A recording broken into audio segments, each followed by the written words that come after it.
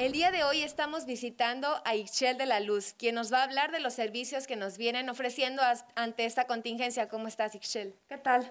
Eh, Angélica, muchas gracias por, por, acordarse de nosotros y venir a visitarnos. Okay. Ixchel, platícanos cuáles son los servicios que tu laboratorio está brindando.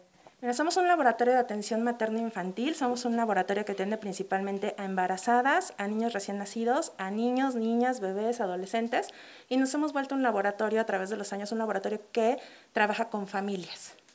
Perfecto. Bueno, eh, me parece que de los principales servicios que dan es el tamiz. Platícanos qué es el tamiz. Claro que sí, el tamiz neonatal es una prueba muy importante, es casi tan importante como la vacunación, que se tiene que realizar dentro del periodo neonatal de los bebés. El periodo neonatal es de desde que nace hasta que cumple un mes.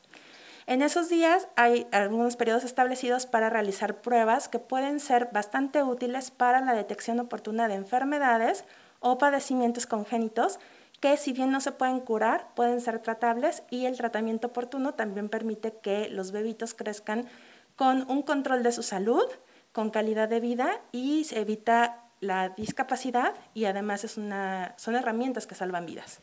Perfecto, hace rato nos estabas mostrando más o menos un ejemplo de cómo se que hacen este tamizaje. A ver, platícanos cómo está. Bueno, nosotros hacemos el tamiz del taloncito del bebé. Entonces, eh, encontramos las áreas donde sí se puede tomar la muestra. Este es el tamaño de un piecito de un recién nacido a términos, es muy chiquito. Y tenemos el huesito del talón muy cerquita, a menos de 8 milímetros de la piel. Se rompen varios capilares a la vez, se deja una marca que no es muy profunda, pero sí más bien es larga.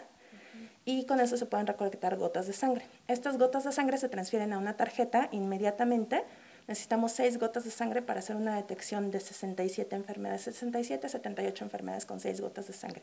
Es muy conveniente porque con poquita sangre puedes ver muchas cosas. Son padecimientos, son enfermedades raras, pero que el neonatólogo o el pediatra no puede ver a simple vista, entonces se necesita hacer un análisis de sangre. Oye, y aparte del tamiz también nos ofrecen otros servicios. ¿Cuáles son?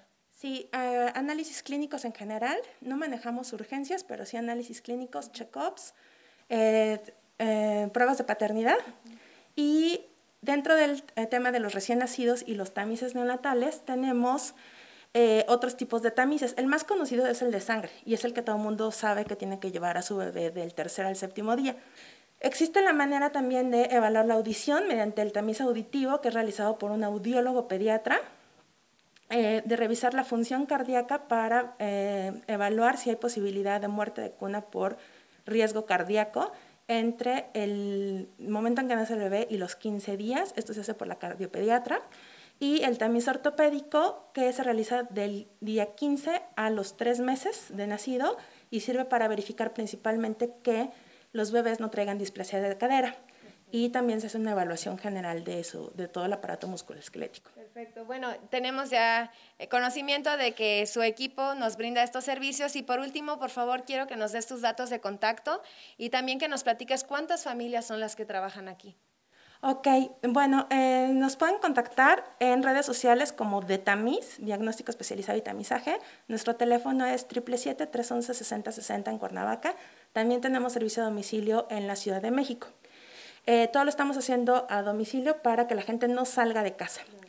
Eh, entre de tamiz e identidad de N, que es la parte de pruebas de paternidad, somos cinco familias las que vivimos de, nuestro trabajo.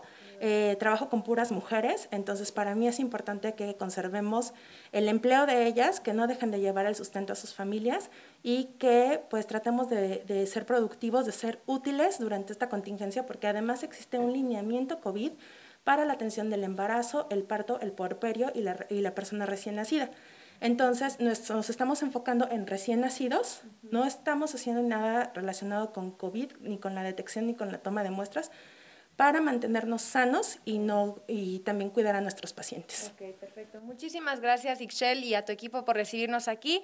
Y ya lo saben, ya tienen esta buenísima opción. Gracias.